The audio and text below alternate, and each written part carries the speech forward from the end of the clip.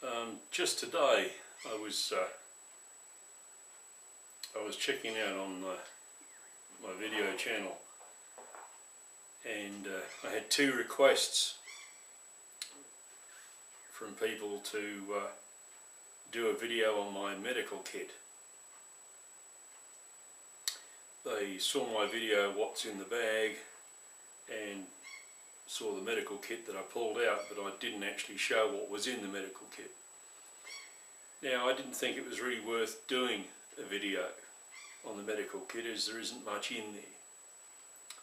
But, as has happened before, I think I was wrong.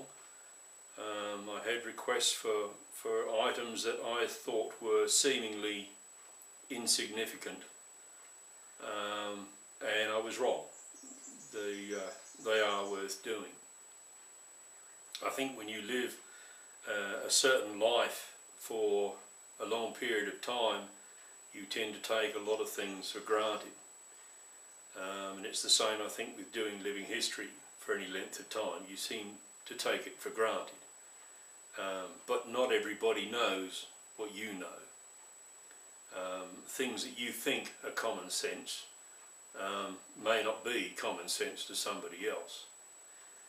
Um, they need to experience something before it becomes natural to them. So I'm going to show you what's in my medical kit. Um, one thing I must stress is that I will not compromise my health and my safety for authenticity. In other words, I will not carry just 18th century, 18th century medical instruments and lotions if they don't do the job I want them to do.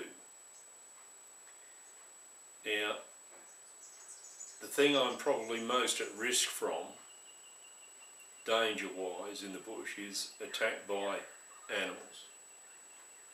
Um, be they feral dogs, snakes, wild boar.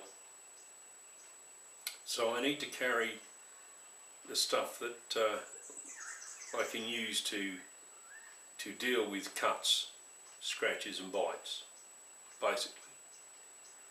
Um, bandages cover that well. And I used to carry um, bandages that I'd made up myself from cut cloth and they take up a lot of room and I don't think they're as good as modern bandages. So I carry modern bandages in my kit. Now the main thing to remember if you're in living history and you're going to take anything in your kit that isn't, period, is to disguise it so it looks as though it is.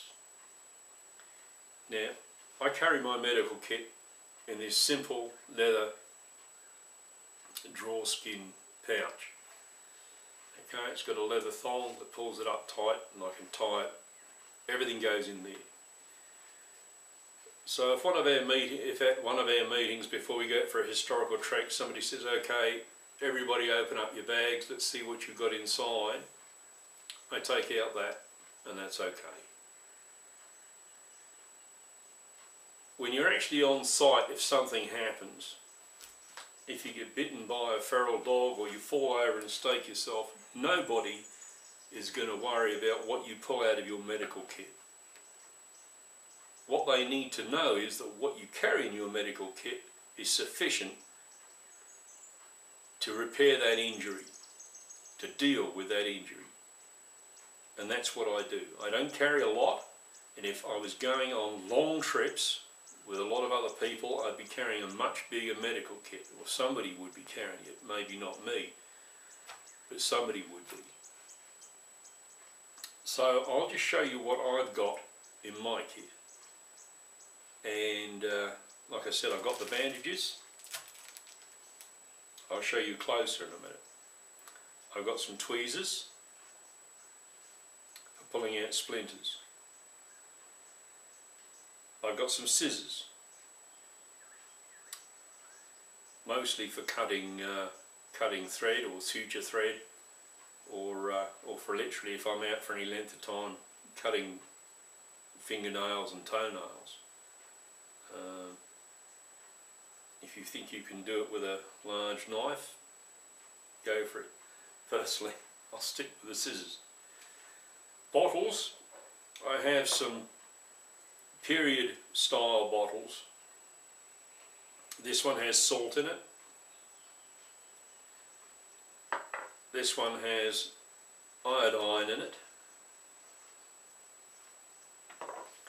And this one I use as an eyeglass. Now, I don't see many people carrying eyeglasses in medical kits. But the fact is, if you get anything in your eyes when you're out in the wilderness, it can be very debilitating. If you get it in both eyes, you can't see where you're going. You can't see at all. You're virtually blind. Your eyes will water, they will sting, they'll become blurred, and it can hurt a lot. Okay, I've been there. I didn't want to carry a plastic, modern plastic eyeglass, so what I did was I found as close as I could to a period uh, chemist's jar or chemist's bottle that would actually fit over my eye that I could use. I don't know if anybody's ever used an eyeglass. What you do is you fill it with water, you put it over your eye, and then you upend it and you open your eye into the glass and you you flicker your eyes and hopefully whatever's in there will get washed out. And I consider that to be a major piece of equipment if you're going out bush. Okay, if it hasn't happened to you yet, fine. I still reckon you should carry one because when it does, um, you wish you had. Okay, I'll uh, I'll show you some of this stuff up a little bit closer.